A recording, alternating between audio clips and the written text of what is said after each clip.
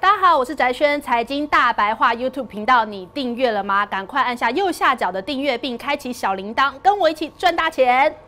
插播最新消息，行政院拍板通过经济、交通以及农业三大方面的纾困方案，提供包括这个服务服务的业者有一定的融资协助以及产业转型，而发放这振兴抵用券，类似之前的消费这个夜市券。好，这个我们首先来问一下这个世聪哥，因为我们刚刚讲到说，现在目前要抢短，因为大家都还在拼复工嘛，那我们抢短的话，应该要怎么样留意呢？对，没错，事实上大家留意一下，就是如果以短线来讲的话，股市永远是表现在这个这个。基本面之前的，所以大家认为说啊，最近好像基本面听起来没怎么好，但是你不要忘记，股市也是经历过一大幅的这个修正之后，所以我觉得其实是有机会慢慢走高。那在这个时候呢，逼近到这个前坡高的附近来说，我建议大家先短跑一趟。所以短短线来说的话，可能就是可以留意一些跌升股。你可以看到今天比较强的，就是这一波弹幅比较小，或是跌幅比较重的。但是这个今天涨到这个呢，也暗示着短线有可能会再次陷入一个比较偏向一个整理的这个。格局，所以短线上我建议大家不要过分追高，除非是跌很深的股票，你可以留意。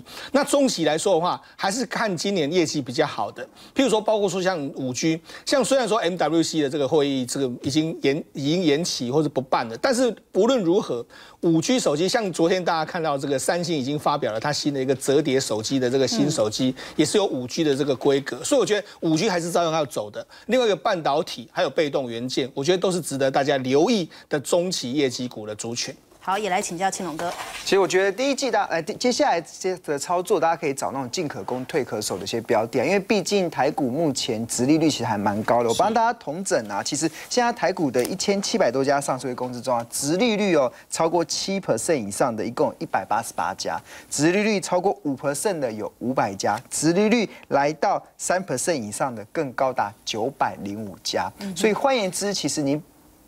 投资台股，其实你一定能够创造出比银行定存更高的一些利率。那这些高值率的公司中啊，今天帮大家整理有一些标的可以做一些选择。那依序的其实有包含了，呃，这个是以他们去年的一个股利，当当还有昨天的收盘价当做值率来计算。那包含了第一档半导体设备的汉科，它的值率是高达九点四六 percent 哦。那第二档群益期，这是跟金融有关的，它目前的值率也高达七点九七 percent。那另外传统。水泥的龙头公司台泥，它的值率也高达七点七 percent。那另外一个做呃电子零组件轴承的信景，它的值利率也高达七点五一 percent。那细晶圆的台盛科值率来到七点七六 percent。那最近喋喋不休的台硕四宝中的南南亚。它现在目前值率也拉升到七点一六 percent，所以这些其实我这边都只是稍微举例，其实台股中非常多这种高值率的标的，所以现阶段投资人觉得可能指数在上升空间有限，它可能陷入盘整的阶段的过程中，大家不妨可以找这种进可攻、